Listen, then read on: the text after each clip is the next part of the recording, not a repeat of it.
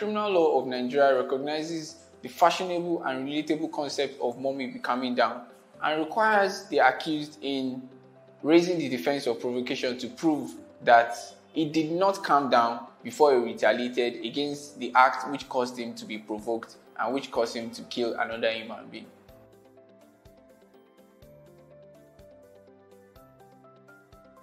Hi everyone.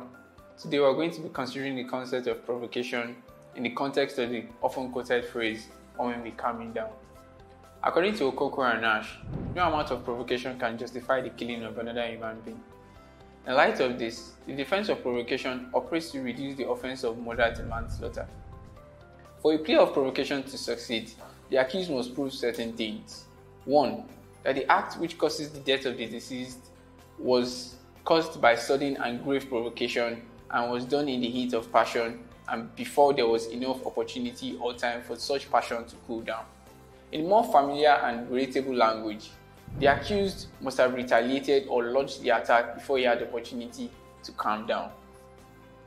This concept or this preceding rule can or must be examined in light of two very important cases Rex against Totten and Rex against Green. Click the link below, download the Sensei app right now.